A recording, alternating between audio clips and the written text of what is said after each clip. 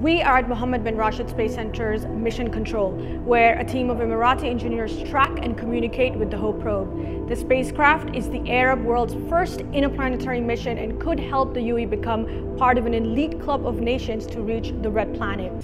It launched on July 20 of last year from Japan's Tanegashima Space Center to embark on a journey of 493.5 million kilometers and now, the most challenging part of the mission awaits, the Mars orbit insertion, set to take place on February 9 at 7.42 p.m. Gulf Standard Time.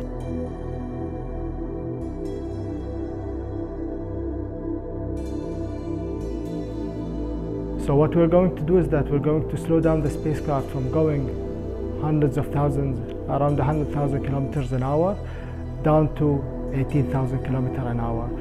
So the problem also we're going to face when we are there is that we have two-way communication time of 11 minutes, meaning whatever we do, we are 11 minutes behind.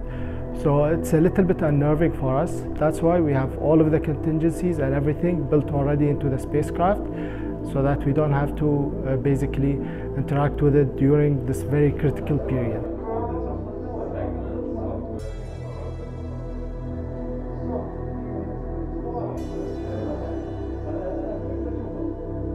After the completion of the Mars orbit insertion, we are going to quickly perform checks, uh, either performance checks and functionality checks on the instruments to make sure that the detectors and uh, the instrument itself is healthy to perform the observations that are needed when entering um, Mars.